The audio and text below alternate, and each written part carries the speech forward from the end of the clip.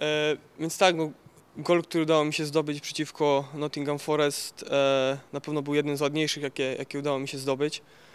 E, cieszy mnie to również dlatego, bo po treningach ciężko zostaje, często zostaję na, na boisku i, i ćwiczę te rzuty wolne, nie wiem, 30, 40, 50 strzał- strzałów w zależności od tego, jak, jak ciężki był trening. I, I bardzo się cieszę, że właśnie to udało mi się później przełożyć na, na sobotni mecz i, i zdobyć bramkę na, na 2-2. Niestety e, straciliśmy bramkę w końcówce i, i, i mój gol niestety nic nam nie dał, także wracam na boisko treningowe, e, dalej trenuję i mam nadzieję, że będą jeszcze okazje do strzelenia e, bramki w kolejnych meczach.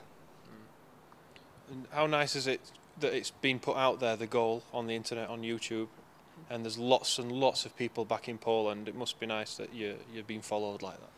E, tak, dostałem bardzo dużo gratulacji, dużo, dużo informacji, czy to, czy to na Facebooku, czy, czy prywatnie od, od znajomych, e, właśnie z gratulacjami za tego gola, także na pewno, na pewno to, że e, ta bramka była, była właśnie na, na stronie Barnsley na, na YouTubie, na pewno, na pewno pomogła i mogło więcej ludzi e, w Polsce, rodaków i kibiców zobaczyć tę bramkę i też na pewno no, bardzo się z tego cieszę.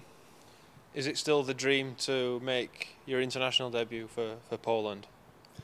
Tak, zdecydowanie. No, myślę, że marzeniem każdego, każdego piłkarza jest grać w reprezentacji, również moim, także e, tak mówię, robię, robię co mogę na boisku treningowym, tam mogę poprawiać wszystkie, e, wszystkie fragmenty gry, które, e, które według mnie powinny być poprawione i, i mam nadzieję, że, że pewnego dnia będzie mi dane zagrać dla reprezentacji.